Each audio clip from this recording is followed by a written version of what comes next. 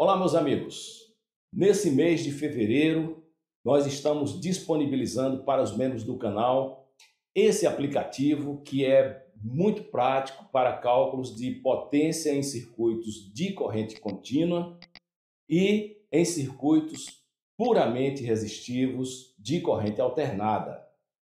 Nele, você pode calcular qualquer uma das variáveis: a potência elétrica, a corrente elétrica ou a tensão elétrica. Outra novidade é a nova versão da calculadora para cálculos da lei de Ohm. Na versão anterior havia um pequeno bug de programação que já foi corrigido nessa nova versão e ela também já está disponível no site.